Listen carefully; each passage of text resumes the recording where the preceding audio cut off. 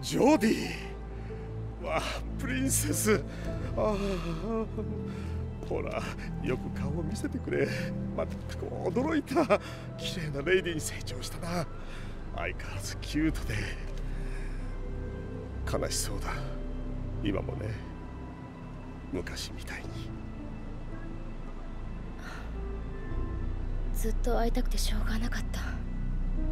それで？エイデンはどうしてる？いるのか？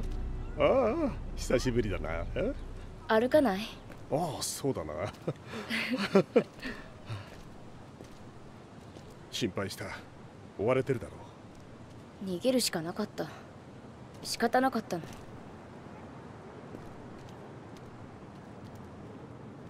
姉さんは？ああ昇進したよ。DPA のトップさ 小さな実験室から随分と出世した。コールは？何をしてるの？小さなグループで霊体の種類を分類して違いを研究したりそんなところだ。重要じゃないがやりたいことをやっている。だか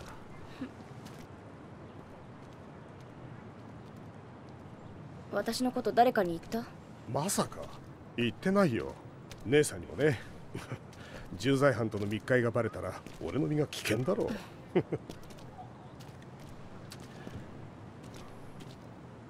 この前の話だけど何か分かった？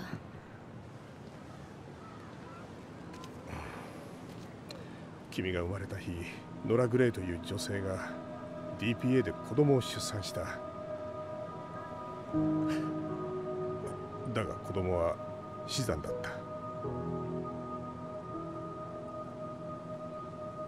それ以外はどう？あまり。二十数年前にノラが DPA の研究プログラムに参加してたことだけだ。彼女は力を持ってたんだよ。父親は？その子の父親は誰なの？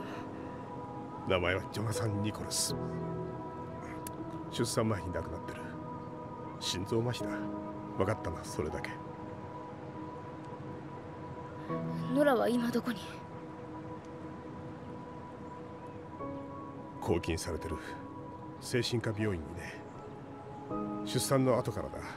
ファイルを見る限りまだそこにいるはずだ。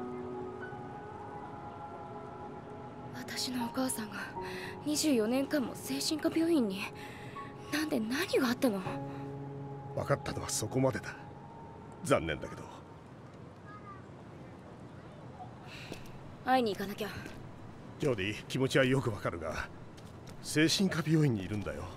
君の求める答えが見つかるとは。答えなんて探してない。ただ会いたいだけ。わからない？私の母親なの？彼女に会えば自分が誰なのかがわかるかも。ジョーディ DPA の厳重警備施設にいるんだぞ。しかも今君は国中の法執行機関から追われる身だ。簡単に中には入れない。どんなことをしても母さんに会う。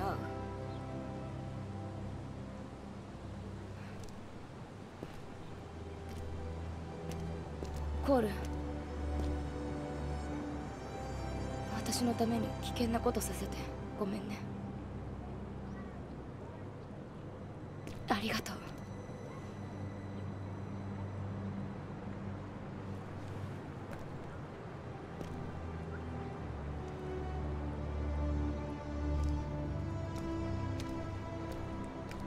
おい。